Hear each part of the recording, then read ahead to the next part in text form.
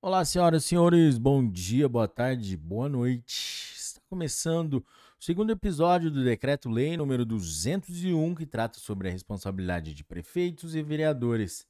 Mas antes de começarmos, deixe o seu like.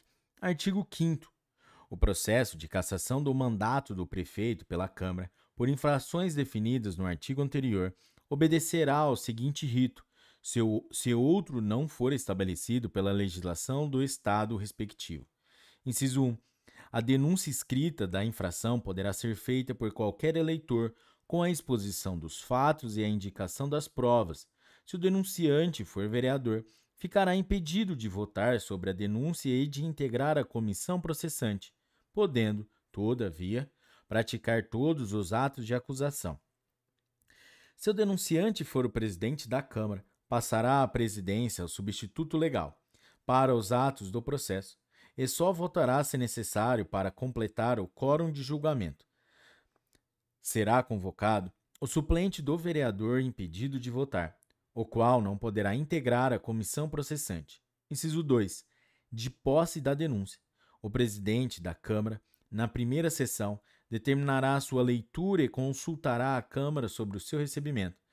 Decidido o recebimento, pelo voto da maioria dos presentes, a, na mesma sessão será constituída a comissão processante, com três vereadores sorteados entre os desimpedidos, os quais elegerão, desde logo, o presidente e o relator. Inciso 3. Recebendo o processo, o presidente da comissão iniciará os trabalhos, dentro em cinco dias, notificando o denunciado, com a remessa de cópia da denúncia de, e documentos que a instruírem, para que, no prazo de 10 dias, apresente a defesa prévia por escrito. Indique as provas que pretende produzir e arrole testemunhas, até o máximo de 10. Se estiver ausente do município, a notificação far-se-á por edital, publicado duas vezes no órgão oficial, com intervalo de três dias, pelo menos, contado o prazo da primeira publicação. Decorrido o prazo de defesa, a comissão processante emitirá parecer dentro em cinco dias, opinando pelo prosseguimento ou arquivamento da denúncia, o qual, neste caso, será submetido ao plenário. Se a comissão opinar pelo prosseguimento, o presidente designará desde logo o início da instrução e determinará os atos, diligências e audiências que se fizerem necessários para o depoimento do denunciado e Inquirição das testemunhas. Inciso 4.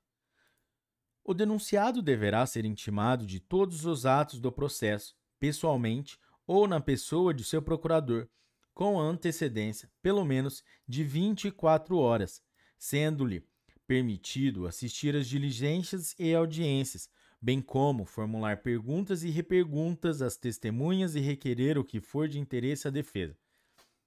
Inciso 5. Concluída a instrução, será aberta vista do processo ao denunciado, para razões escritas, no prazo de cinco dias, e, após a comissão processante, emitirá parecer final pela procedência ou improcedência da acusação, acusação e solicitará ao presidente da Câmara convocação de sessão para julgamento. Na sessão de julgamento, serão lidas as peças requeridas por qualquer dos vereadores e pelos denunciados, e, a seguir, os que desejarem poderão manifestar-se verbalmente pelo tempo máximo de 15 minutos cada um, e, ao final, o denunciado ou seu procurador terá o prazo máximo de duas horas para produzir sua defesa oral. Inciso 6. Concluída a defesa, proceder-se-á a tantas votações nominais quantas forem as infrações articuladas na denúncia. Considerar-se-á afastado definitivamente do cargo o denunciado que for declarado pelo voto de dois terços, pelo menos, dos membros da Câmara, em curso de qualquer das infrações especificadas na denúncia. Concluído o julgamento, o presidente da Câmara proclama, pro, proclamará imediatamente o resultado e fará lavrar a ata que consigne a votação nominal sobre cada infração. E, se houver condenação, expedirá o competente decreto legislativo de cassação do mandato do, de prefeito. Se o resultado da votação for absolutório, o presidente determinará o arquivamento do processo Em qualquer dos casos, o presidente da Câmara comunicará à Justiça Eleitoral o resultado. O processo. Inciso 7. O processo a que se refere este artigo deverá estar concluído dentro em 90 dias, contados da data em que se efetivar a notificação do acusado, transcorrido o prazo sem julgamento. O processo será arquivado, sem prejuízo de nova denúncia, ainda que sobre os mesmos fatos. Artigo 6.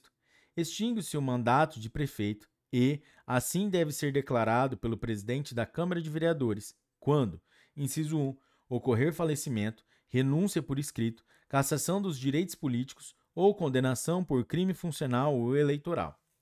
Inciso 2. Deixar de tomar posse sem motivo justo aceito pela Câmara dentro do prazo estabelecido em lei. Inciso 3. Incidir nos impedimentos para o exercício do cargo estabelecidos em lei e não se desincompatibilizar até a posse e, nos casos supervenientes, no prazo que a lei ou a Câmara fixar.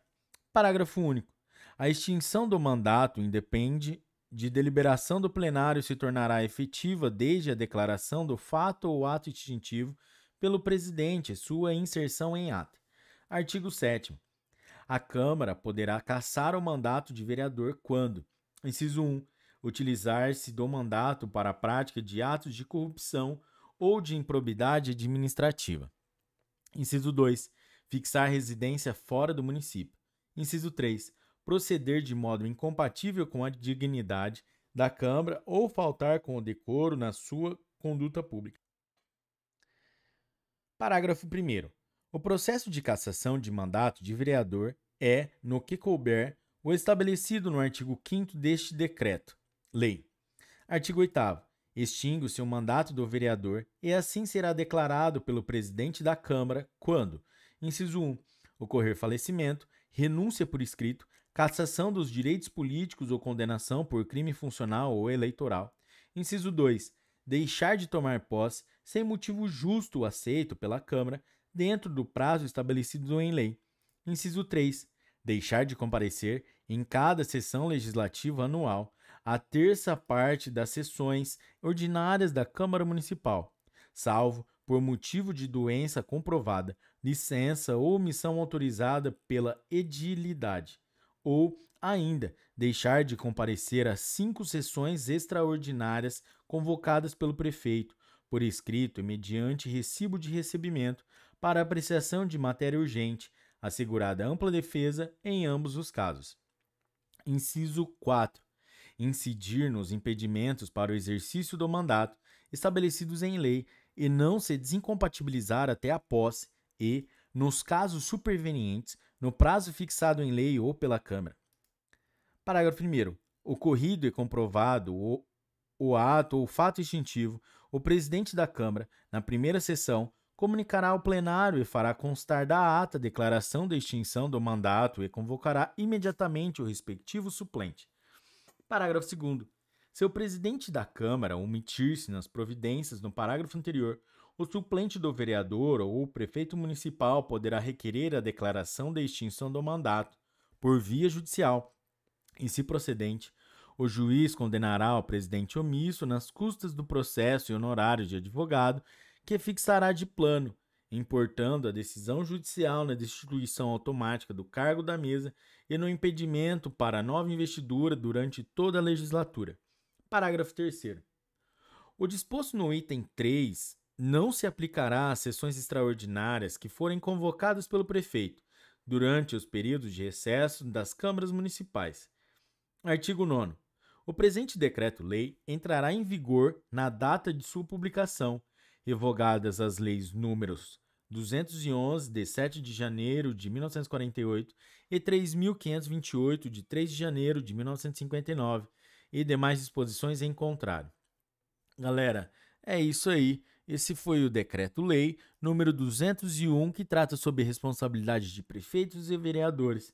Se você curtiu esse episódio, deixe o seu like e faça sua inscrição no canal e compartilhe com seus amigos. Bons estudos, até a próxima. Um forte abraço. Tchau!